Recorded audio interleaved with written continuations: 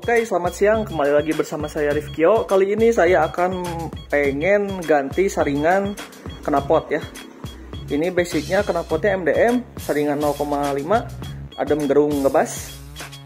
Akan saya ganti pakai saringan Konoman. Nah, saringan Konomannya beli di mana, Bang? Saya nggak akan beli. Waktu itu saya pernah punya motor PGR, P 130 bore up harian Oke, knalpotnya crimpy. Nanti saya akan cantumin di atas. Karena sayang tidak dipakai, udah lama nggak kepake, motornya juga udah lama kejual. Daripada ngajugruk kalau bahasa Sundanya ya, ngajugruk di gudang, mending saya manfaatin untuk bikin konoman di knalpot di silinser Vario ini. Ini masih bawaan MDM, saringannya masih yang 0,5. Ngebahas adem gerung, kita spill dulu ya.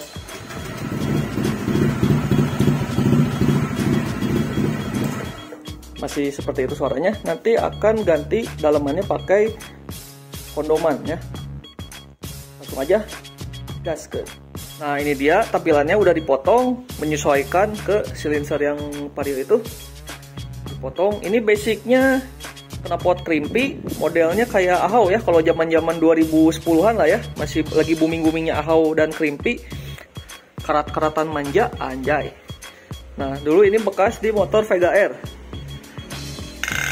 Nah ini ya udah dipotong sama saya dulu kan kayak ahau ini ada ada ada lingkarannya lagi, cuman udah saya potong. Dan ini juga menyesuaikan, menyesuaikan bikin pipa lagi di elas. Ini di elas menyesuaikan ke uh, silinsernya. Ini ukuran 32. Kalau lubang untuk keluarnya, lubang keluarnya ini di 40. Gimana penampakannya? Langsung aja kita pasang dan sebelum pasang saya akan bongkar dulu saringan knalpotnya dan juga gaspolnya bakal dikeluarin semua oh ya dan ini saringannya ini tuh kelihatan nggak ini saringannya cuma 7 cm sekitar sampai sini aja sisanya pipa biasa tanpa ada bolong alias pipa flat. Paling sampai sini saringannya. Nanti kita akan spill suaranya. Sebelum itu kita bongkar-bongkar dulu ya.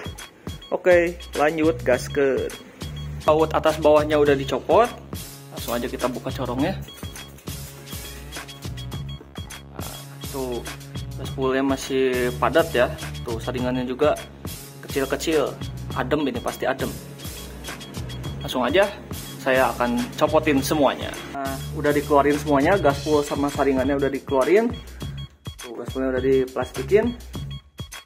Langsung aja saya pasang silinser yang ini. Ini ukurannya udah menyesuaikan ya menyesuaikan ke ujung lubang itu. Yang di ujung ukurannya 32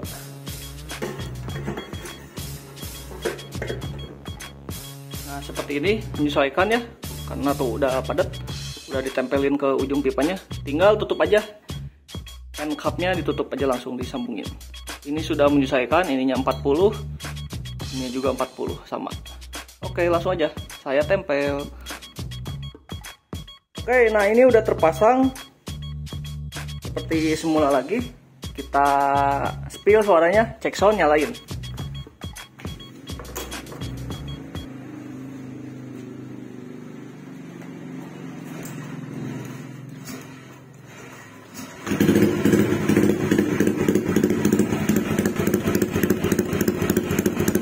nggak terlalu berisik lah ya. Pulan segini mah pulan aman.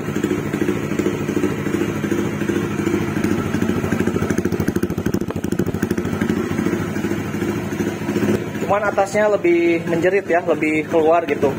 Dengan spek key porno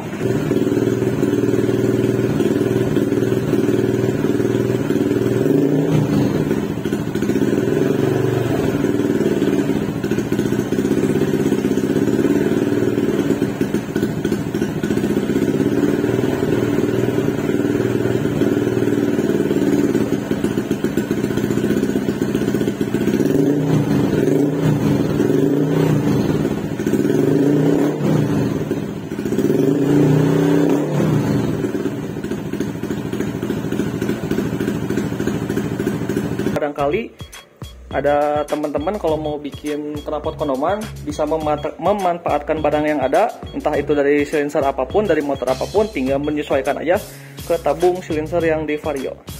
Oke jangan lupa like comment dan subscribe. Terima kasih. Wassalamualaikum warahmatullahi wabarakatuh